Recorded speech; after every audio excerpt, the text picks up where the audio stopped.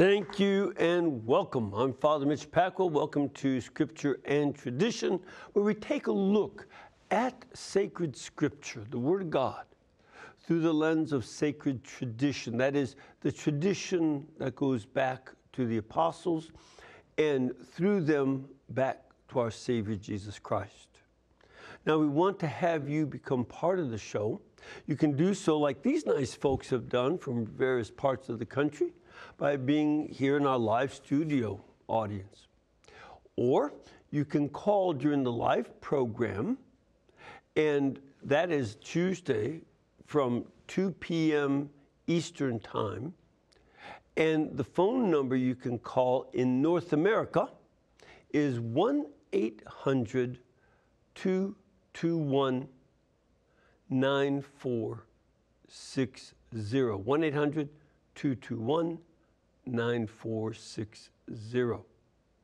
If you are not in North America, that number won't work, but you still can call in by calling country code 1 area code 205 271 2980. You can also send us your questions and comments via email by writing to scripture and tradition at EWTN.com or follow us and participate with the show on Facebook and YouTube. Now, today we'll start to take a look at Matthew chapter 8, verse 26 where our Lord Jesus rebukes the sea and calms the storm. Then we'll also take a look at some of the Old Testament background, especially in the book of Job and the Psalms, because that is extremely important. It's essential, in fact, to understand our Lord's relationship with the sea. We'll talk about how our Lord's disciples, whom he calls men of little faith, don't see the whole picture and they have trouble connecting the dots of what's going on around them. So a lot of us can be in that position too. Now we are continuing through my book called Praying the Gospels Jesus Miracles in Galilee. Now that's still available, of course, at ewtnrc.com. EWTNRC.com. It is item number 52885. 52885. And we are on chapter uh, 7, and this is meditation 3, where Jesus rebukes the sea in Matthew 8, verse 26. So it says, Then he rose and rebuked the winds and the sea, and there was a great calm. Now, this is after he uh, had been wakened. Remember, he was asleep in, on a pillow in the back of the boat. And they, they woke him up. And Jesus, after he's awakened, gives them reason, gives them proof for placing faith in him. He speaks and calms the sea. This is a great, great deal. Calms the wind by his word. And this is part of the theology of understanding Christ as God the Word made flesh. That he as God, has this power over the wind and the sea. Now, in the Old Testament, we see that the Lord God relates to the sea. And what it says there will be helpful to us. Um, you know, the book of Job is one that people start reading but don't get to the whole end. And it, it's a very, very rich book about the problem of pain. Why do good people, righteous people, who didn't do anything wrong, why do they suffer? And after a series of debates. There are three series of debates with Job's friends, between e- each friend and Job. And then this other young man shows up and he gives his opinions. Mostly opinions that come from the standard school of wisdom that you really must have done something wrong. God doesn't let good people suffer. That's, that's what the friends of Job uh, say. And finally, the Lord speaks to Job. And eventually, he'll even say, The friends would have been better being quiet. They didn't speak the truth, they don't know what they're talking about. But he says to, he asks Job a series of questions in Job, uh, beginning in chapter 38. And in verses 8 to 11, it says, Or who shut in the sea with doors when it burst forth, burst out from the womb? When I made the clouds its garment, and thick darkness its swaddling band, and prescribed bounds for it and set bars and doors, and said, Thus far shall you come, and no farther, and here shall your proud waves be stopped. When Job is asking, when the Lord is asking Job that question, remember it's the Lord posing this question to Job. He is asking this rhetorically Who shut in the sea? And who made it come forth with the winds and clouds? And this is no small issue. In fact, this is one of the amazing components of planet Earth. How did so much water get formed on the Earth? And I've seen geologists debating, the, uh, I've, I've read some of the debates, that it could have been lots and lots of comets crashing into the earth. That's one of the theories that, that, that they pose, because it's hard to figure out how all of this water is here and not on the other planets. You know, so there's this is something mysterious. And by the Lord asking that rhetorically, the answer that is implied in the Lord God's rhetorical questions is that it was the Lord God who made that possible. The Lord God who brought forth the sea and stayed its proud waves and said that this is as far as you can go. And Job, as a mere human being, this is part of the point of the rhetorical questions. Job can't do that. No mortal can. This is always one of the issues, too, that I have when we hear a lot of politicians putting human beings in char- charge of global climate change. You know, the Earth's climate has changed lots of times. Most of the times, long before humans existed. Billions of years and millions of years before humans existed. And this is something that has a lot of factors in it, including the tilt of the Earth as it makes its orbit. If it's very slightly on its spin, that changes climate. I mean, we had a good 100,000 years of an ice age up until just 12,000 years ago. That's, that's not long. 12,000 years for, for you, but not for nuns. At any rate, this is, you know, uh, human beings have very limited control over the, the earth. Uh, volcanic eruptions, all sorts of things do that. And so, you know, for, to, to say that we have control is not easy. And then you go over to the Psalms, where it describes the Lord God as having power over the sea. For instance, in Psalm 65, begin with verse 5 through 7. By awesome deeds you answer us with deliverance, O God of our salvation.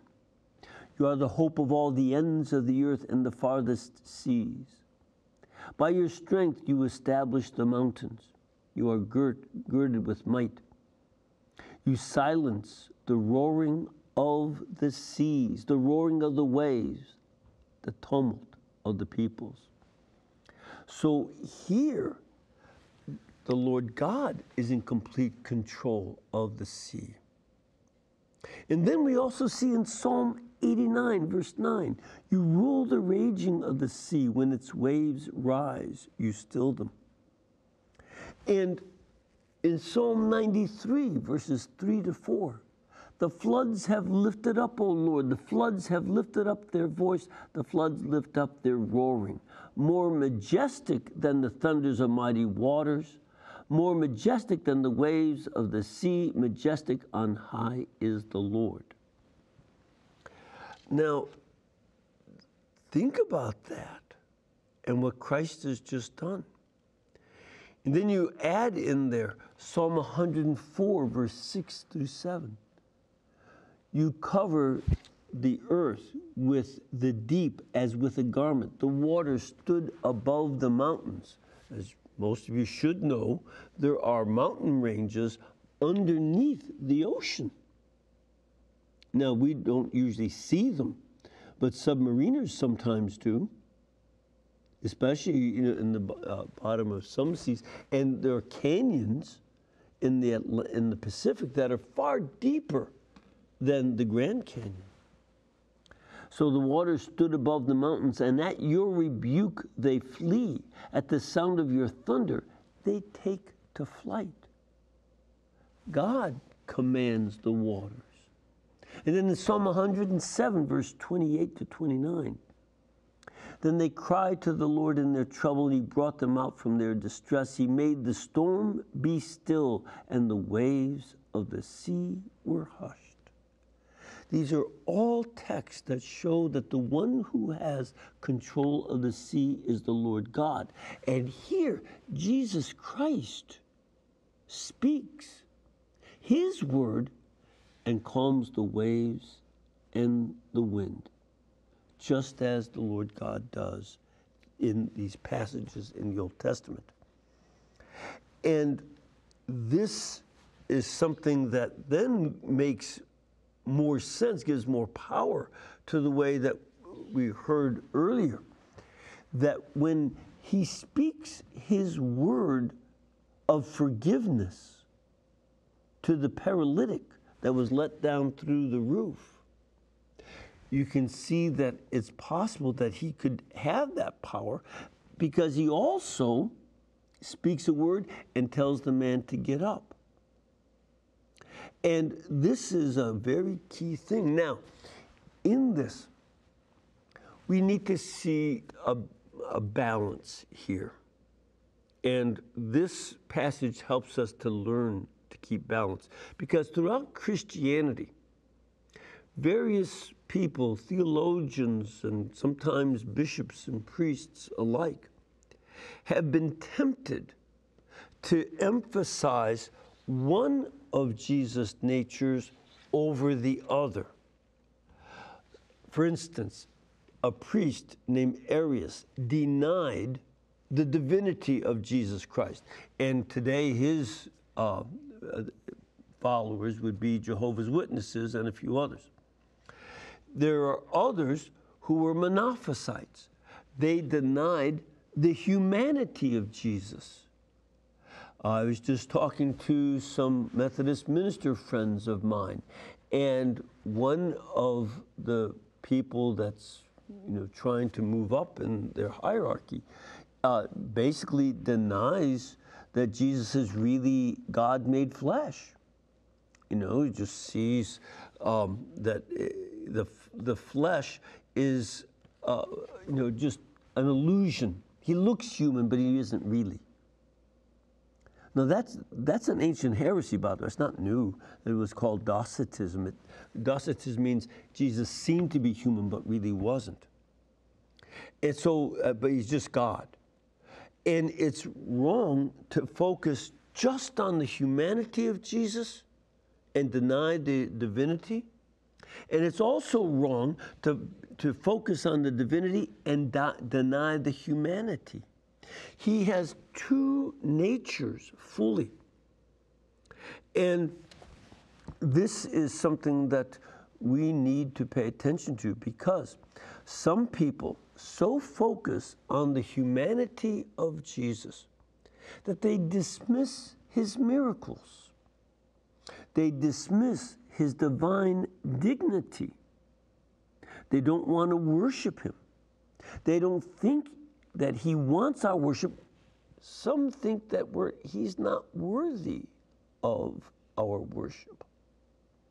And sometimes this shows up in certain liturgical movements where instead of the normal gestures of adoration of Christ, genuflecting and bowing, and expressing words. Uh, for instance, I've been in places, uh, one place where I was invited not to come back and say Mass because I had led the congregation in praying the Gloria at Mass on a feast day, a major feast. And they, they, they didn't do that anymore. And so they didn't really want to adore Christ. And this is something that we have to be careful of. Some people so much want Jesus to be a friend, which he is, and he says he is. In John 15, I no longer call you my servants, but my friends. But then they use that to dismiss adoration of Christ.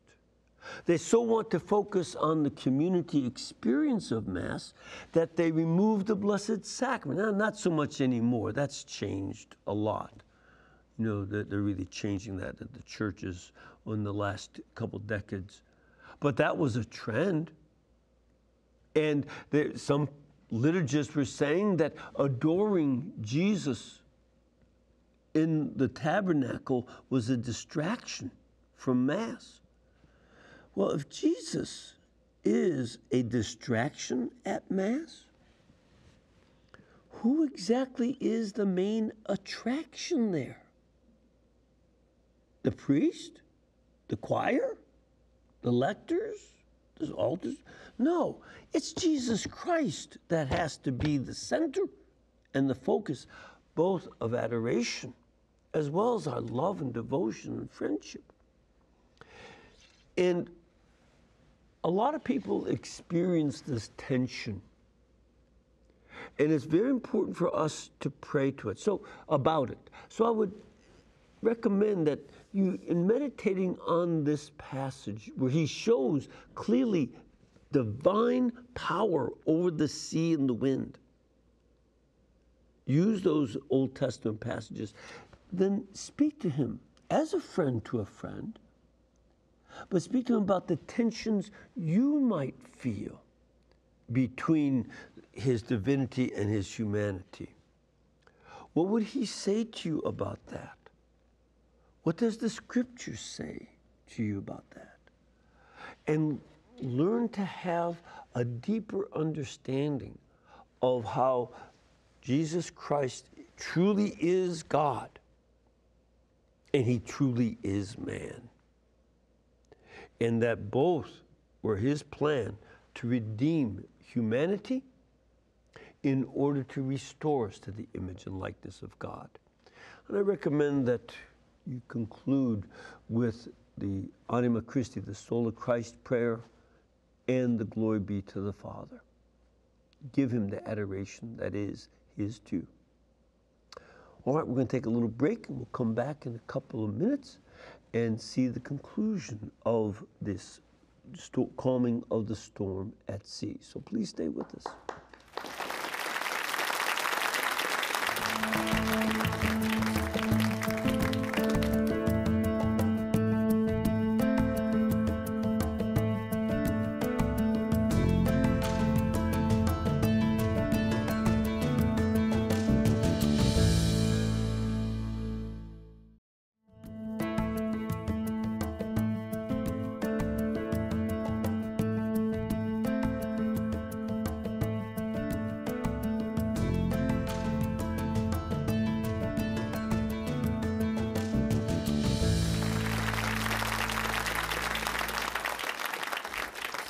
All right, welcome back.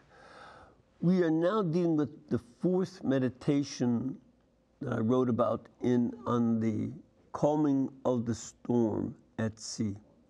And in this, we're taking a look at Matthew chapter 8, verse 27, where the, the disciples themselves in the boat are amazed at what Jesus has done. So it says, they were amazed. What sort of man is this that even the winds and the sea obey him? Now, I mentioned in the first segment today that the Lord God was asking rhetorical questions. Here, it's not quite a rhetorical question. They're genuinely perplexed. Remember, the apostles were all Jewish. They were steeped in the Old Testament every Sabbath. They would hear scripture read. They, uh, the Pharisees had a lectionary. Uh, there were a couple different lectionaries. Uh, one was a one year cycle, they also had a three year cycle. And the core of their lectionary was to read from the Torah, that is, the first five books of the Bible. But they would also have other readings called haftarot. The haftarot would be read from the prophets, some of the other writings, uh, the various histories and psalms and stuff. So they would know this. They would know these passages, they've heard it.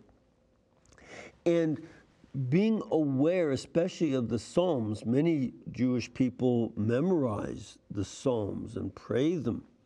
Uh, they, they know them by heart because uh, not everybody could afford to have a copy of the Bible. Copies of the Bible are expensive, extremely expensive.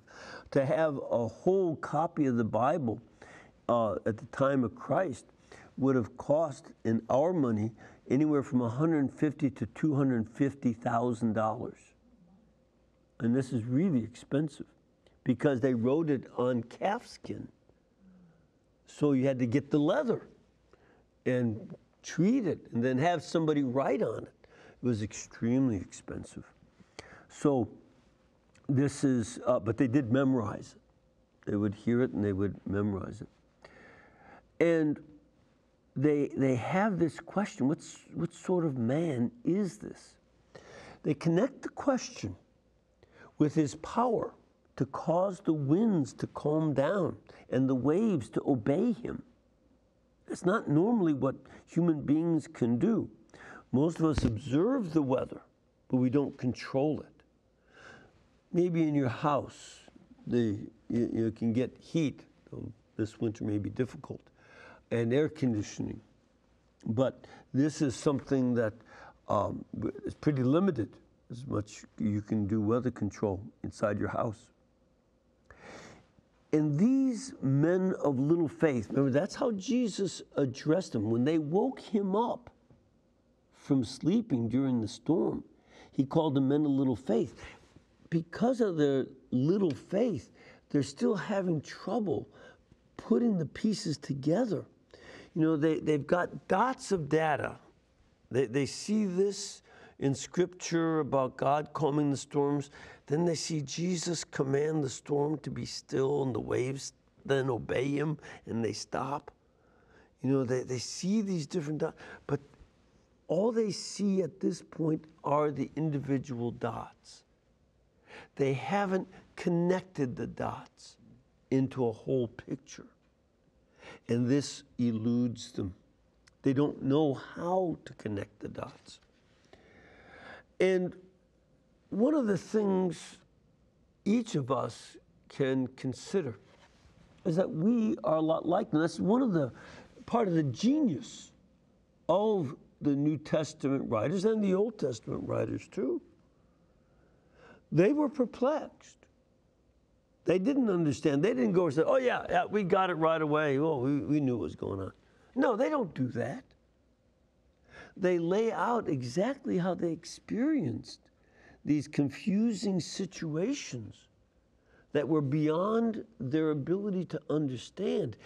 And in so doing, they help us to relate to their process of moving from being people of little faith to becoming men of great faith. But it took them time and lots of mistakes. And we ourselves are in that same kind of process. We are gradually learning the process of learning who Jesus Christ is. We're gathering in the dots of information. And oftentimes, like the apostles who got into the boat to just go across the lake, they're just going to be sailing seven miles across, that's all. And that got them into this big adventure of a storm, a sudden storm, that they didn't realize was going to happen, and how they're scared, they have little faith, and then Jesus calms the storm. Think about the different adventures in your own life, the adventures that you have, and especially the living out of adventures with trying to stay close to Jesus Christ. Those adventures are where we are going to find out more and more about his identity. And because we engage in the adventures of life, the risks of life, such as starting new jobs, engaging in our education process, engaging in a vocation, matrimony, religious life, priesthood, or searching for that vocation, whatever it might be. As we engage in this, we start to find out more and more about our Lord. This is a very important thing. It's not usually in abstract reasoning that we come to understand Jesus. Some people might, you know, maybe more philosophical types, but most of us learn about Christ by engaging our faith with Him as we go through life's adventures. It's kind of a mistake to think, well, I'm not going to enter any Christian kind of adventures unless I figure out who Jesus is. And I, am going to hold off on all that until I know all about Christ and got him figured out. I don't think that's the way it is. It's sort of like trying to figure out your spouse by just sitting there and talking to him. It's going to be when you get married and you deal with finances, kids, buying a house, buying vehicles, getting jobs, losing jobs, getting opportunities, losing them. All these, all these adventures is where you get to know your spouse. All the more true in our relationship with Jesus Christ. We get to know him as we engage him in the adventures of life. And we can find out more and more about his true identity, his true humanity, and his true divinity. And we can see that something much more than a simple human being is revealed in his actions. Jesus knows people's hearts. It's hard enough for people to know their own minds and hearts. Think about psychologists who charge you uh, used to be $100 an hour. It's probably about 150 uh, and, you know, inflated bucks might be even more. And they, they would charge those this money to have you sit and tell them your life story. And they try to help you figure out your life. And sometimes it takes years. Some of these people would be in therapy for three years. You know, go listen, because it's hard to know yourself. But God knows us in the depths. We don't, He doesn't need a psychologist to help figure us out. He knows our innermost thoughts better than we do and better than a psychologist does. It's very, very important. And psychologists can be helpful to us. I'm not against that by any means. But psychology has its limits. Christ doesn't. We also see the power that he has to cure the sick and even raise the dead. We see his power to forgive sins. All of this comes by being with him and engaging him in the adventures of life. And this is something that we see very much. We also pay attention to the gospel, and we see that at times he needs to take a nap. He was tired. That's why he fell asleep, so deeply asleep, he didn't even wake up for the storm. Sometimes he's so hung, hungry, he has to send the apostles to go get some food while he just sits there and waits. He has to ask for water, he thirsts. He grieves and mourns. We see this with, uh, uh, you know, Lazarus and also with the widow of Nain's son, he feels um, great, great mourning. And then um, we, we should also learn with him that, like the apostles, we can marvel at him. That this is something where we see this amazement at what Christ has done in our lives. A lot of times, when we're in the midst of the adventures and crises of life, it seems that God is asleep. He's not answering. And yet, as we engage with Him and go through the crises and difficulties, we can look back and say, I can't, I can't imagine how much Christ did for me. God, uh, again, I always remember my mother saying to us, on her last Christmas. I don't know how we fed you guys, but we always did. We always had enough. We could give you a place to live and some clothes and food. It just had to be God. At the time, she was feeling lots of anxiety. But it, looking back, she could see, oh, this was God working to make it possible. And this is a common experience that we have. And this is something that comes only as we stay faithful to Jesus. I celebrated a funeral the other day, a military funeral at the National Cemetery here in uh, Alabama. And a man who had stayed away from church since he got back from Vietnam back in the 60s. And he was upset with God as we talked and we had a good conversation.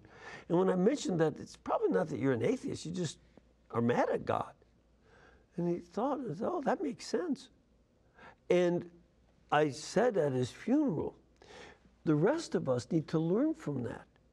You don't withdraw from God, but if you're having difficulties with them, you engage in the conversation. You don't stay away from church. You come to church and get into the argument with them. In fact, the very name Israel means the one who struggles with God. That's their name and identity. This is what we have to do. And even like the apostles who had little faith, when they woke Jesus up, they still had enough faith to say, Lord, save us. Even if we have just a bit of faith, we start with that and let it grow. So consider your own faith at this point. Do you have a little faith? Is your faith maybe greatly enhanced? Maybe it's grown a lot? Maybe you feel like you have no faith at all. Imagine being with Jesus on that boat in the storm. Storms of life, and in that storm in particular. And speak to him about your willingness to follow him in these adventures. Think about how life with its difficulties, and you know, we're looking at a lot of economic difficulties coming up and other difficulties. We need to call on Jesus in the midst of these storms and ask Him, do, you know, what are the challenges to your faith? Is it challenge to almost extinction?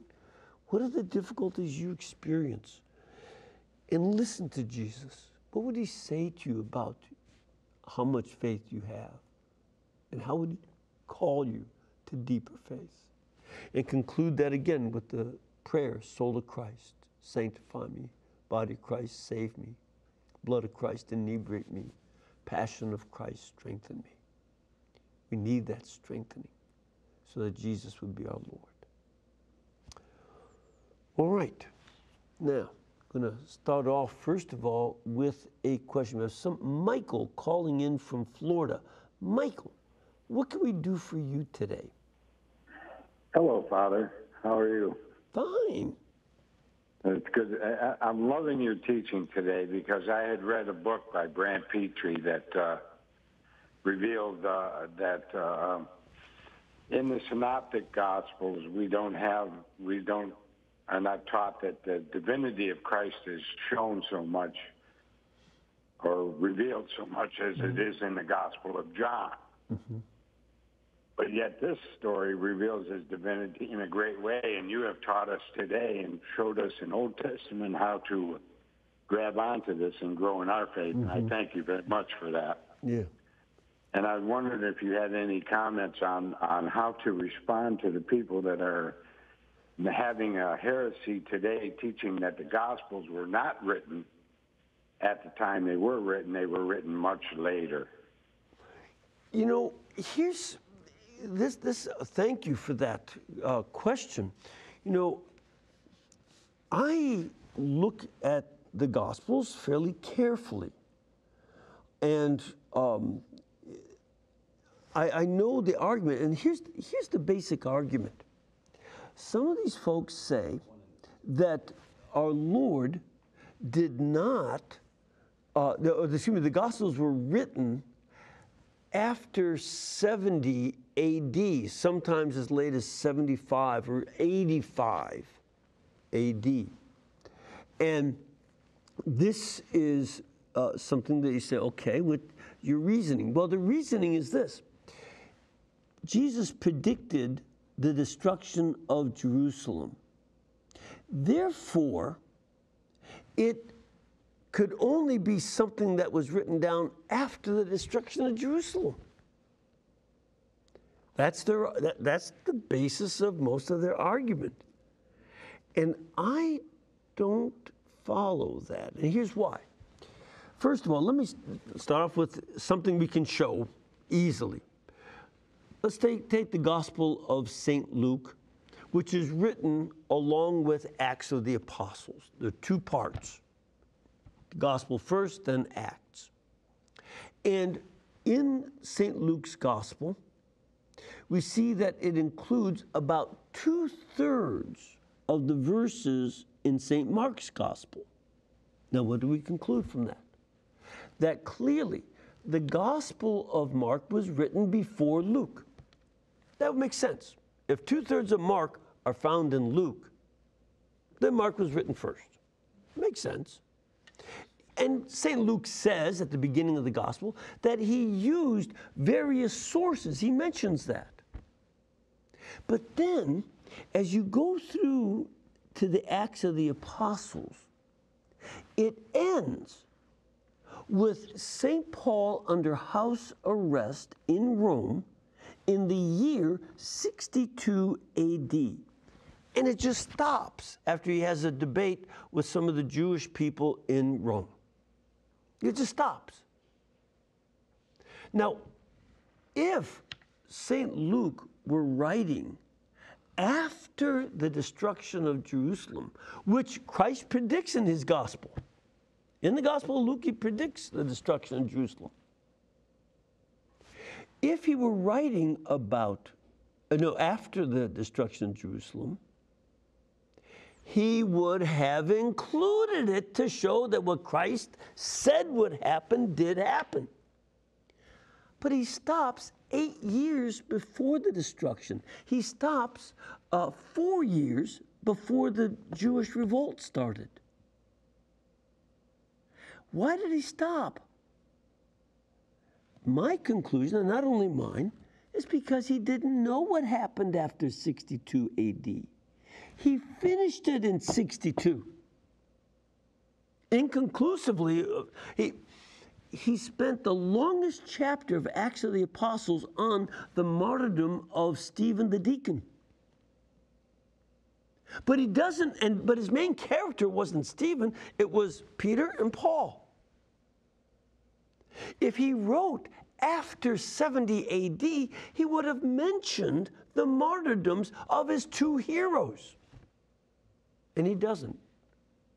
My conclusion is that he doesn't because he finished writing in 62, three years before they were martyred. That's why he didn't know about it. So I would put Luke Acts as being written by 62. That's when it stops. That's when he finished it. That also means, therefore, that Mark is written before that, probably in the 50s. And there are others um, who also believe that St. Matthew was written in the 50s based on evidence such as the penmanship style of the earliest fragment we have. The earliest fragment of St. Um, Matthew's gospel is from the early 60s. And the penmanship style there was that of the early 60s. Uh, so it was probably also written fairly early. So that's how I reason to it. And I disagree with them using a principle that if it predicts something, it had to be written after that thing happened. You really can predict things to happen, and they happen afterwards. People still do that, and things happen. So I would, that's why I don't, just based on looking at data, as best I can understand it, I don't think that the Gospels were written late. They're written in the 50s and 60s. That's my conclusion. All right, we're going to take a break. We'll be back in just a minute, so please stay with us.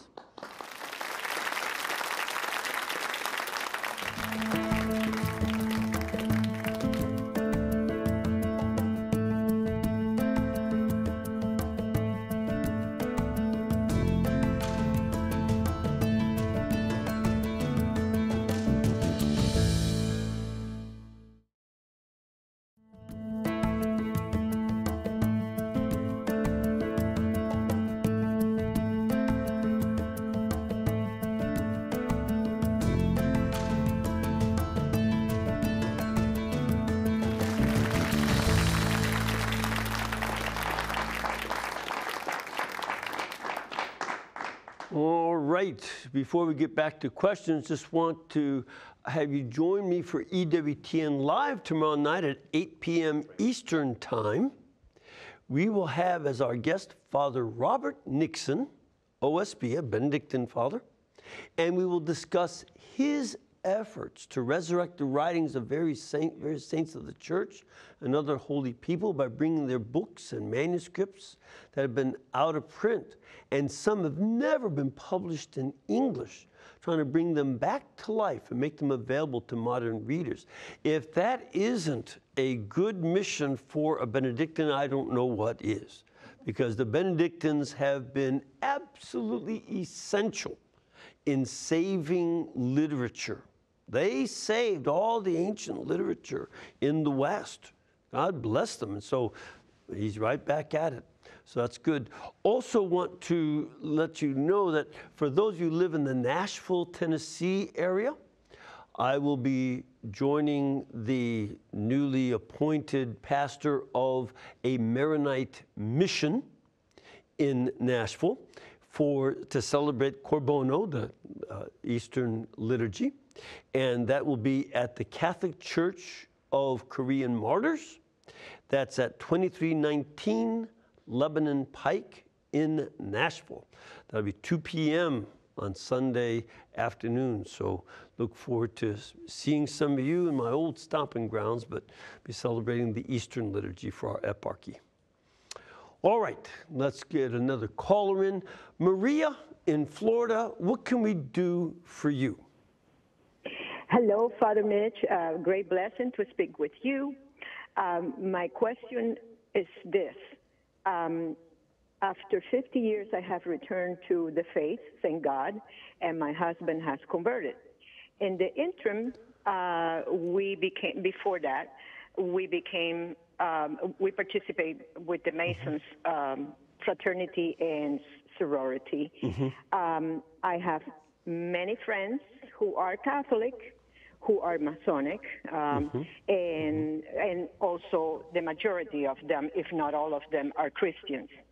Um, the the way that I see it, after being 23 years in these um, groups, they are not really religious at all. They're more, um, you know, they do gooders. And uh, we get together and have a good time as well as having our regular business meetings. Um, that said, because I have been away from the church for 50 years, I had the blessing of now really looking into the faith real deeply to learn it correctly. Um, I am confused. I see many things in the in Google Catholic sites about yes, the uh, Catholic Church allows it. No, the Catholic Church does not allow it. Um, and I have asked priests. Some, all of them have said that it was okay. I, I just want to hear it. You know, I'm trying to explain myself as best as I can in this matter. Um, Sure, so I want to sure. hear what you have to say. Thank you so Sure, much. Maria. Thank you for that question. That's an important one. Um, there were uh, some opinions expressed, especially in the 80s, that it was uh, uh, uh, okay to, for a Catholic to be a Mason. Eventually, that question was addressed to the um, Congregation for the Doctrine of the Faith. Uh, and Cardinal, then Cardinal Ratzinger, later on Pope Benedict XVI, made it very clear that no, it's not compatible. Now, and let me say this too this is not something that uh, means you can't be friends with these folks or anything. But the Masonic Lodge in- includes a couple of elements that have been rejected from the beginning of the lodge. This, the, the Masonic Lodge started around 1715 in, in England. And within uh, less than 20 years, um, the, the, the Pope looking at it know, said, no, this is not acceptable because of the vows of secrecy.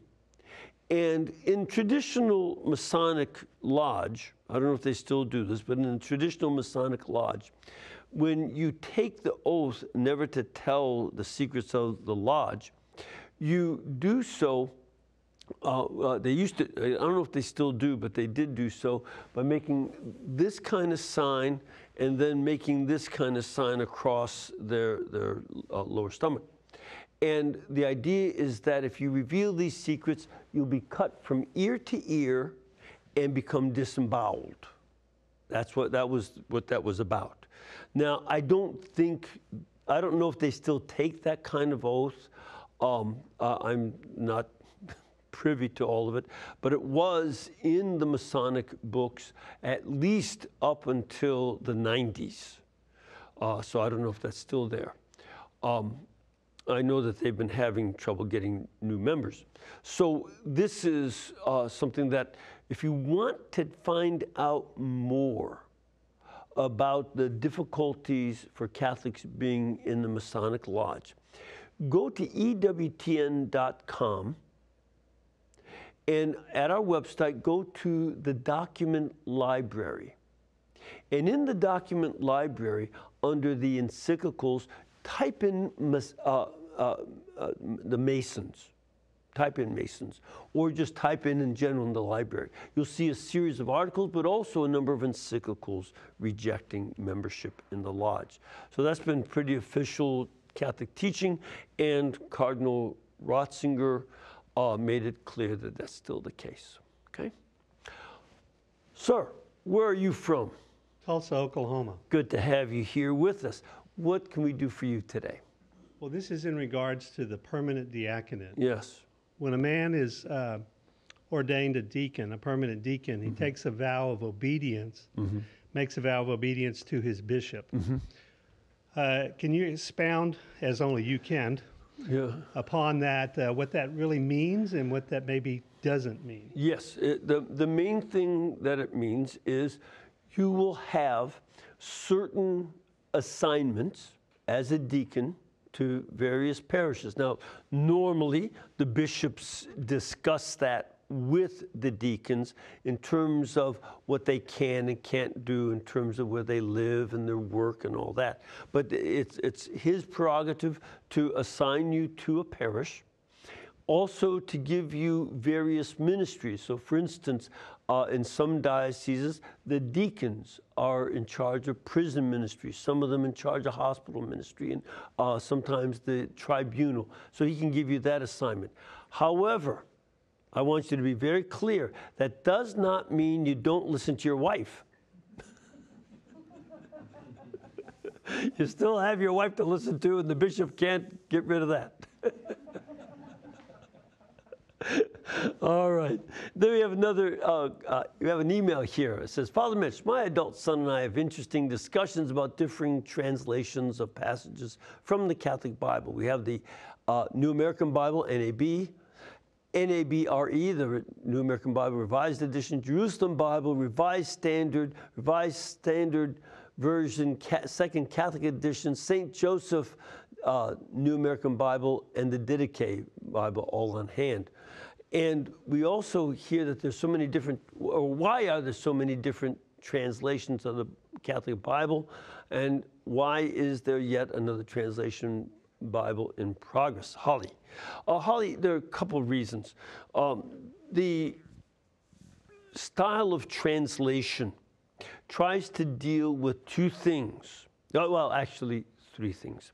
One is getting the balance between literary style and literal translation.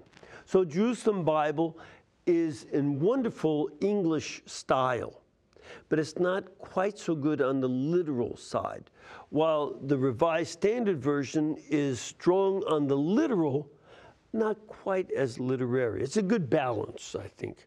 And New American Bible is trying to update to American diction, while there are other translations for the English, that, that is in Britain, Great Britain. And also, some translations are for different reading levels. So, those are some of the issues that you try to get at um, style and literal, literary, and uh, reading levels. So that's why they have all those differences. Um, I think, Holly, it's time for you to learn Hebrew and Greek. All right. The Lord bless you all and keep you and cause his face to shine upon you, the Father, the Son, and the Holy Spirit. And we can bring you this show and all the other shows because the network is brought to you by you, keeping us in between your gas bill, your electric bill, and your cable bill so that we can pay our bills too. Thank you and God bless.